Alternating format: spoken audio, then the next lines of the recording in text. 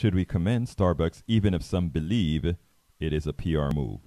Uh, The answer is yes. First of all, yes, we should commend Starbucks. Yes, they're doing a good thing. Yes, we have a right to be cynical when corporations do these things. We know what PR is all about. There are times you cannot distinguish whether, whether something is a PR move or something is genuinely something that a corporation wants to make its identity. I gather, based on what has happened, that they want you to think that they learned a lesson. They want you to think that they genuinely are looking for to create an establishment where people are really feeling not safe, welcome, wanted, accepted, uh, and they are grateful for their business.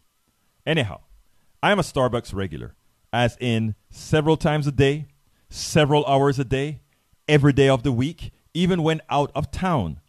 I've been lucky that to date, to date, I have not had outwardly, notice I said outwardly, but I have not had an outwardly racist barista as the one uh, the two black men encountered in Philadelphia. Look, I do not doubt when I was in Timbuktu, Portland, or when I was in Timbuktu, Texas, or when I was in, in, in other places that maybe some of those baristas who weren't very well cultured may have had thoughts.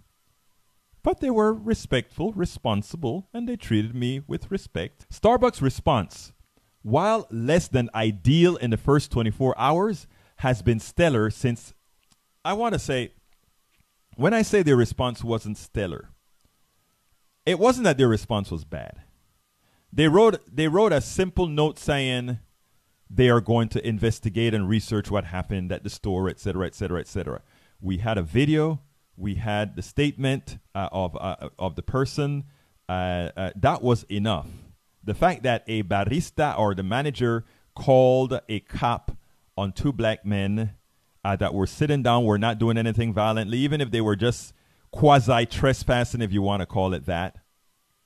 Calling the cops, especially because these were black men, given the history in our country of the past and today, what just about any encounter with a black man and a police means the fear, the fear of every black man that is a thinking black man that is that has an encounter with the police has to have gone through the mind of that that manager who called. And it's likely that manager wanted that fear because those guys you know when they when she spoke to them oh well you know they kind of disregarded her she wanted the fear. She wanted those guys to feel that fear because she was pissed at them.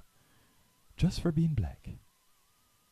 Ma'am can i use your bathroom no you didn't buy anything you sit down you couldn't use the bathroom but you sit down of course many others continuously go in there and use the bathroom as i see in my all the starbucks that i go to without having purchased anything but there was implicitly, I don't like these guys just because of how they look. Because of how they look, I call the cop. Starbucks is making a big issue out of this. And I think for that matter, this cannot be a PR move. Kudos to Starbucks, and I will continue to give kudos to Starbucks on this particular issue. All right, continuing. Starbucks executed a full frontal engagement after the incident, one that likely extended the exposure or life cycle of the event. No company wants to extend the life cycle of an event like this. They want it to die. They want it to die. They're not going to do anything to keep it in the news. But that Starbucks, they kept it in the news purposefully. If we want to be honest, most people don't give a damn, black, white, or other. They have reached a level of co- complacency with the status quo. America is just America, an intractable, prejudiced country on many fronts where one finds comfort in one's silo. The Trump effect is still quite active in the country where people have now have permission to lose their inhibition, their racial insensitivities, and common decency be damned. That's where we are. That's where Trump brought us. The Trump effect. It is okay to be mean. It is okay to be selfish. It is, o- it is okay to be demeaning. The Trump effect. Remember that. That's the cancer we are trying to extricate. Thank you, Starbucks. Thank you, ABC Disney. Because that is what it's going to take. Many of these private corporations stepping up because the government is no longer in, in, in, the, in, in, in the hands of the people at this point in time.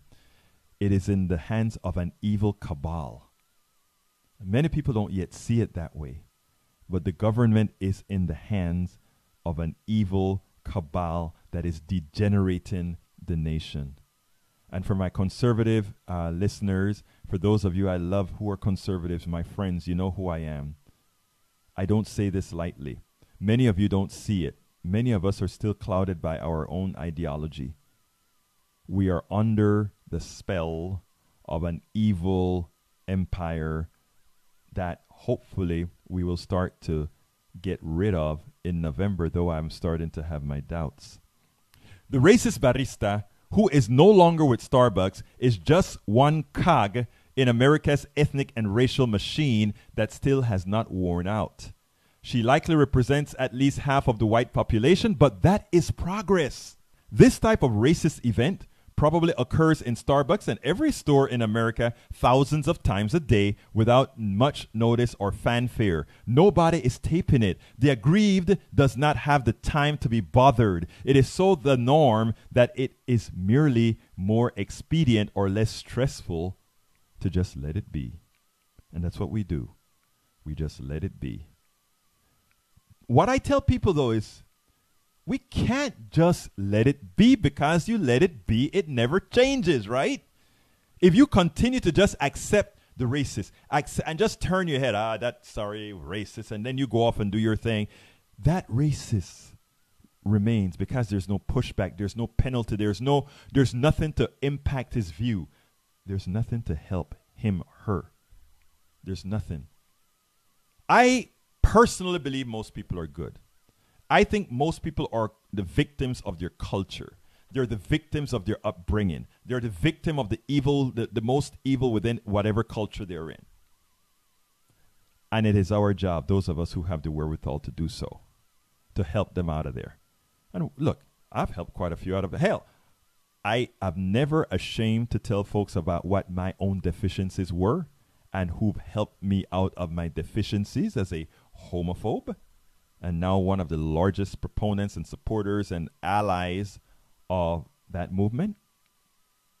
And it's the same with the same spirit that I give all racists a pass until they decide they will not change their ways after being informed. What Starbucks is doing today is very important. What Starbucks is doing today ain't PR. Starbucks is extending the life cycle of the story. How is that good PR a good PR move? It is not. It is time it, it is time to objectively understand what this corporation is doing. Tackling an issue very few of them are willing to do. Make a change on an issue the country continues to be resistant about more often than not.